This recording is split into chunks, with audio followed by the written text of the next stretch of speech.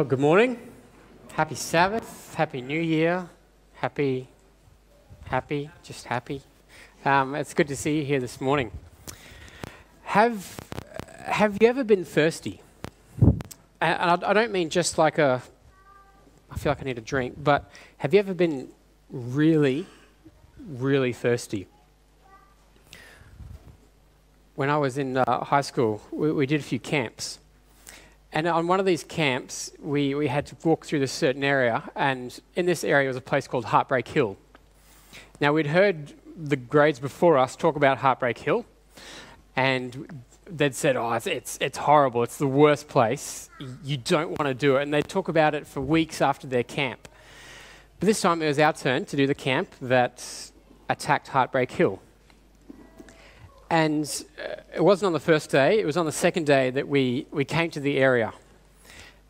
And we're in the, in the bottom of a valley, and it went up both sides, as valleys tend to do. And we had to go up this track. It was hot, it was sunny, it was windy. This was in um, Queensland, southeast Queensland. It was humid. We had some water and with all this in our packs, we started up Heartbreak Hill. And we could see the top. And we thought, I have no idea what everyone's complaining about. Piece of cake. So we walked up it.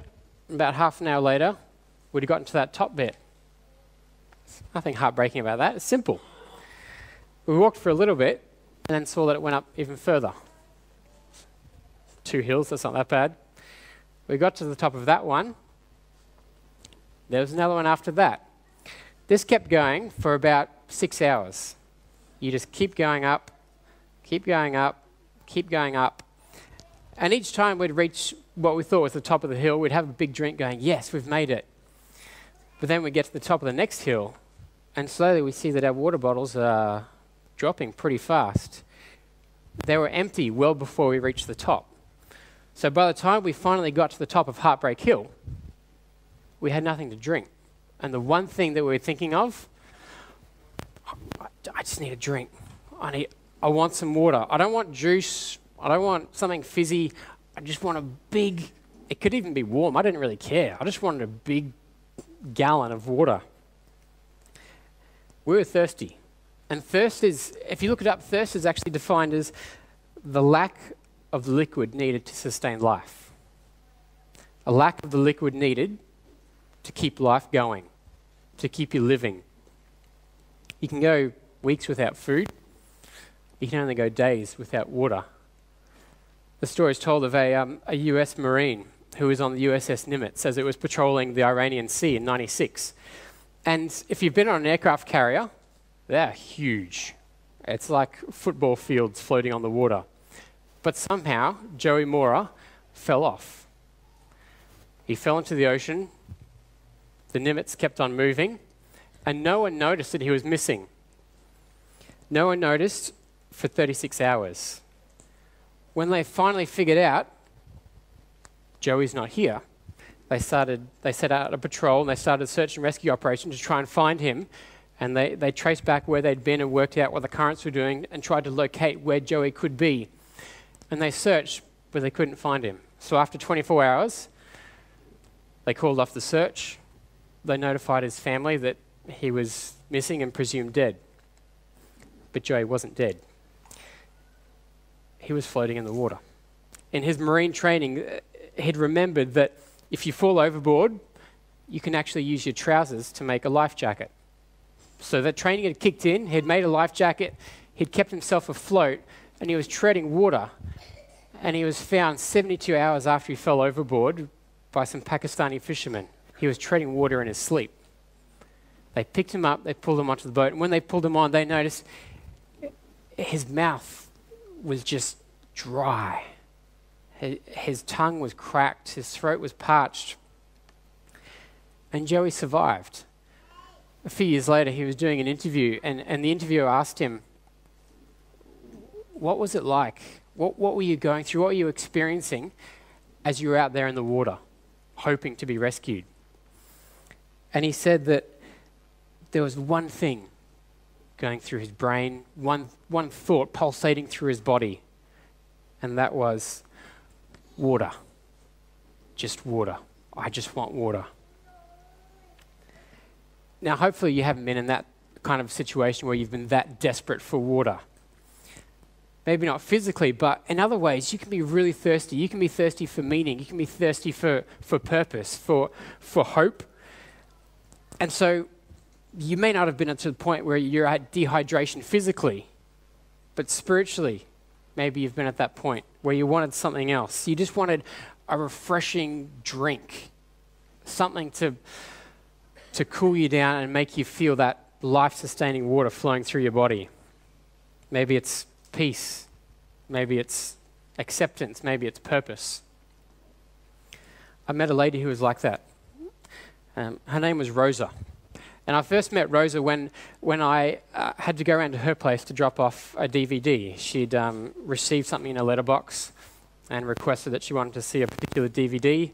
Um, that got sent to me, and I, I got given her address, and I went around to drop it off to her. Now, when she opened the door, I had to look down because she was really short. She still is. She's a, she was a short lady. She uh, was kind of shy, um, kind of um, held back a little bit, um, a little bit tentative. But I gave her the DVD and we started up a bit of a conversation. And, and she started to share a bit of her life with me. Um, she'd not too long ago been through a divorce, a separation. Um, but only uh, about six months before I had met her, um, her mother had passed away, and she'd been very close to her mum. And, and so she was struggling with all these things. She had a son who had some difficulties, and, and she was having to face all this on her own. And she had been to Road to Bethlehem. And at Road to Bethlehem, she'd, she'd heard the story of Jesus, and she was, she was Greek Orthodox, so she, she grew up knowing about the Bible, about Christianity. But something there sparked in her. And she said, No, I, there's got to be more to this. There's got to be more. So she started this search for something more in her life. And that's when I met her she was, she was thirsty for something else. Now, you, you probably know people who are like that, who, who have just felt like, this isn't it. There, there's got to be something else that I'm missing. And I've met wealthy people, poor people, successful people, average people, and, and they've all, as I've spoken to them, they've all kind of expressed that, hey, maybe, maybe there's, there's something missing. That they might have put it down to, need to make the business bigger. I need to um, deal with this relationship with someone, or uh, they've found things that they thought that they needed to fix that they wanted more of. You might know people like that. That might have been your story once, or maybe perhaps today. So you might also be able to relate to, to a lady that is mentioned in the Bible. Jesus met her as he sat next to a well. It was hot. It was the middle of the day, and, and he, he asked her for a drink. And she said, mm, This isn't normal. Um, you shouldn't be asking me for a drink. and they went back and forth a bit. And, and Jesus said, If you knew the gift of God, and if you knew who it was that's asking you to get them a drink, you would actually ask me for a drink. And I'd give you a, a cool glass of living water. And then she says, Where is this? How can I get it? And Jesus essentially says, it's, it's in me. I am the living water. She didn't realize how close she was to the living water. She, it was something that she wanted. It was something that she felt she was thirsty for, but she couldn't. She couldn't get it. She didn't know what it was. She didn't know where to find it. But actually, it was, it was right there next to her. A few, few chapters after that in John, Jesus said this. He said, If anyone is thirsty, let him come to me and drink. John 7 37. There's two verses I, want to share with you today, and I hope you can remember them. They're easy. I've cut them back a little bit so you can remember them. John 7 37. John 7 37. If anyone is thirsty, let him come to me and drink. The only way to solve a thirst for hope, for meaning, for acceptance, for purpose is to know and accept Jesus. Nothing else is going to truly satisfy. It might it might make you feel like you're, you're not thirsty anymore, but it's not fully going to quench. And the irony of it is that you can be thirsty for something, and when you find Jesus and you drink him in, you're still thirsty. It quenches, but you want more of it. With Jesus, you can drink and drink and drink, and it's always cool, it's always refreshing, it's always invigorating. It's both fulfilling and unquenchable. Have you, in your walk with God, in your walk with, with Christ, have you experienced that? That you can spend time and time and time with Him, and it quenches, but it also leaves you wanting more. And so I want to ask today, as we start a new year, as we kick off and people are making resolutions, I want to ask you are you thirsty for Jesus? Do you have a deep, unquenchable desire to drink more of Him in each day? Does that drive you to spend more time in His Word, to spending more time in prayer, to, to spending more time talking with Him and about Him? The story is told of, uh, you might have heard this, of a student who went to his spiritual master. And he asked him, Master, how can I truly find God? Without saying anything, the master guided him down the path to the river that ran just, just near his place. He took him into the water, and the student's thinking, okay, this is great, I'm going to find God. And the master take him, takes him in fairly deep, puts his hand on his head, and pushes him under the water and holds him there. And the student's thinking, Is God under here? I can't see God. And he holds him there. And the master keeps his hand on his head. And slowly, the oxygen in the student's lungs starts getting used up. The carbon dioxide starts building up, and he starts, his brain starts sending messages saying, You need to breathe, you need to get some air, you're running out of air, you need it, you need it and that feeling starts crushing his lungs, and, and he's holding under that. He starts thrashing around and, and trying to get up. But the teacher just holds his head under there, and he keeps it there, and he keeps it there. And that burning is getting stronger and stronger. And this guy, all he's thinking about is, I just need to breathe. I need to breathe. And then finally, at the last minute, just before he's about to drown, he pulls him up out of the water, and the guy oh, takes a massive, deep breath and then the teacher looks at him and says, When you desire God as truly as you, as you desire the air you just breathed, then you will find him. Do you desire God that much? Do you desire Jesus so much that it's like air, it's like water when you're thirsty? I think of David. You know, when David, he, he talks about a deer panting for water. This is a deer that just doesn't want to drink. This is a deer that is desperate for water. And then further on, he says, God, you are my God. Earnestly I seek for you. My soul thirsts for you like a dry and weary land. Now, that's some pretty earnest, desperate wanting of some water. And David's, David's not a new believer. David's followed God his whole life. But still, he's desperate and wanting God in his life. Two verses and two things I want to, yeah, I hope you can take home today. John 7:37, if any of you is thirsty, let him come to me and drink. And along with that, may 2016 be a year where you are incredibly thirsty and desperate for Jesus. Living water is available to everyone but not everyone realizes they're thirsty. It's a common situation where you mistake thirst for hunger. I don't know if you've experienced this. If I have a nap during the middle of the day and I wake up, the first thing that comes to my head, I need to eat.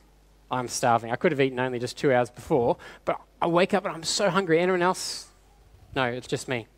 Thank you. Good. Um, wake up and you go, oh, I'm so hungry. But in reality, I'm not actually hungry. It's more, I'm thirsty. And science has shown us that often we confuse those two sensations. We think we're hungry, but in reality, we just need a glass of water. And it's the same with life. People look for, for solutions to things in areas where they, they think they're actually hungry. But I think when you read the Bible, when you understand God, you realize no, they're actually thirsty for living water. And then not going to find the solution to their thirst until they're shown who the living water is and where to get it. And that's where you come in.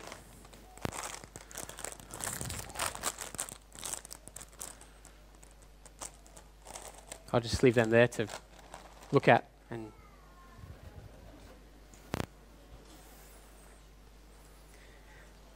This is the CHIP program, by the way. Um,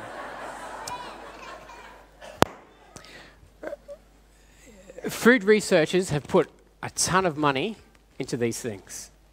The amount of, uh, of dollars they pour into labs, into having chemists, psychologists, technicians working in these uh, super facilities to create what's in this packet is incredible. The, um, they develop them and then they send them out and they put them in front of all these um, different focus groups, and these people get paid to sit and eat chips. They sit there and they eat them, and then they put their answer a bunch of questions. All that stuff gets fed through a computer, it gets analyzed, and they work out what they need to change to create the perfect can't say no snack. Now, they've actually got in the States um, one, of these, one of these fast food companies, these snack companies, they've got a, a machine that simulates the human mouth. And they've got this machine so they can work out what is the perfect amount of crunch that a chip should have. And for those of you who are interested, it's actually 4, 4 psi. Um, 300 grams per square centimetre of force creates the perfect chip. I don't know how you're going to recreate that in your home, but that's how to create a can't say no chip. And they also got this, this thing called vanishing calorific density. Now, vanishing calorific de density, you know, when you eat some things like uh, burger rings, Cheetos, you put it in your mouth, two seconds later, you wonder what happened? Because it just disappears, it's gone. Now, they've created it, and they know that if it happens fast enough, your brain doesn't actually think you've consumed any calories. And so it doesn't feel like you're filling up, filling up, and so you go and have another one because you just ate some air.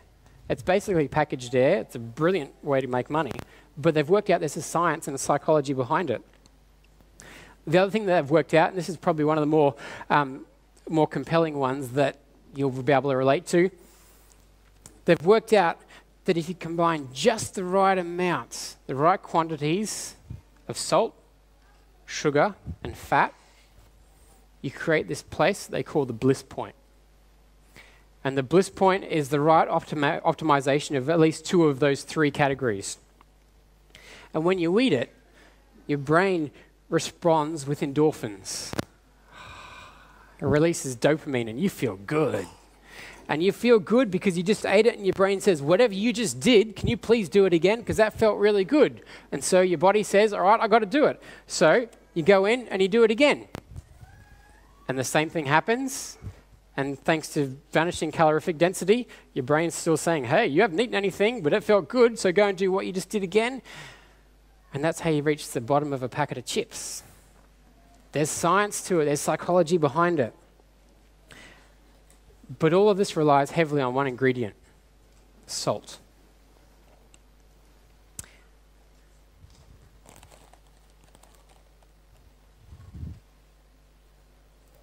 What's happening inside your mouth? Can you feel it? This is going to sound good. Four pounds per square inch.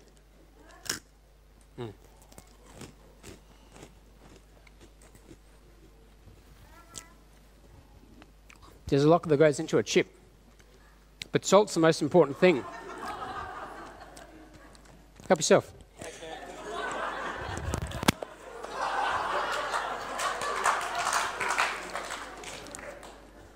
I'll, I'll bring you a plate next time. But salt's important because you have it and you go, that tastes good. And so you go for another one. And soon enough, you realize, wow, I'm, I'm really thirsty. yeah, that's better. The second verse is Matthew 5:13. You are the salt of the earth. It's one you can remember easily. Your contact with all that salt makes you want something to quench the thirst. You are the salt of the earth, Matthew 5:13. You're the saltiness in the world that, that God wants to use to create in other people a thirst for Him. What you do, who you are, what you say, how you act, how you live can be so flavorful that people around you say, oh, I need what you've got. You, you've got something that I'm thirsty for. What is it? Where can I find it? How can I get it? A lady, um, Madeleine L'Engle, said this We draw people to Christ not by loudly discrediting what they believe or by telling them how wrong they are and how right we are. No, we draw people to Christ by showing them a light that is so lovely that they want with all their hearts to know the source of it. You're the salt of the earth. And just after that, Jesus says, You're the light of the world. Let your light shine before men so they can see your good deeds and they can praise who? Not you. They can praise God. As you live a salty life, God will do things through you that will make others thirsty as well. I mentioned Rosa earlier. Um, I dropped that first DVD off to Rosa, and then I dropped the second one, and the third one, and the fourth one. Rosa went through about three or four correspondence courses. She watched all uh, about three or four different sets of DVDs. Um, she attended a few different seminars. We did Bible studies together. And on December, December 13 last year, two years ago now, December 13, two years ago, um, Rosa committed her life to Christ in baptism. And, and the transformation that I was blessed to be able to see in her life was amazing. It wasn't big things, it was little things that changed in her that other people noticed. She's still short, nothing changed there.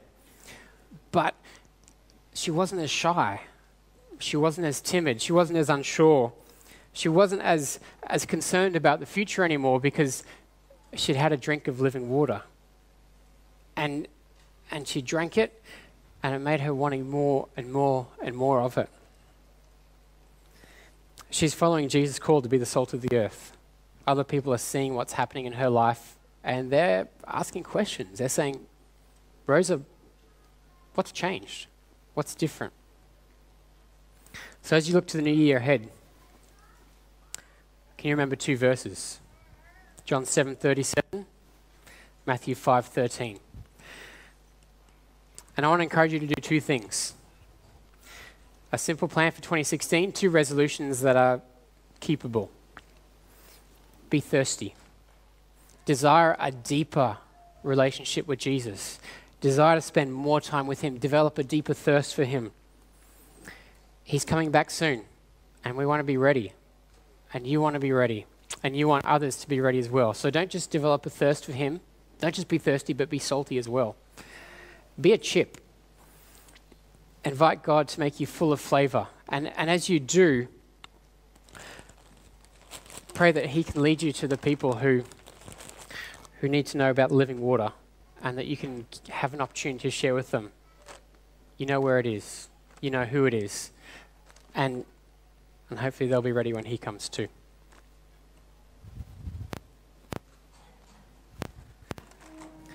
Father, we thank you that you have shown us that Jesus is the living water. We thank you that you have invited us to come and drink. And this year, God, may we drink and drink and drink and never be quenched because we know that Jesus is, is so much and, and we can never have enough. We also ask that you'll make us salty. May we be a chip for you in our communities, in our homes, in our workplaces, in our neighborhood, that people will develop a thirst for you. And by your grace, that we can show them that your love is amazing, that you are a God who knows them, who cares for them, and who is coming back to take them home. We ask that you'll give us strength and commitment to this resolution in 2016. In Jesus' name we pray. Amen.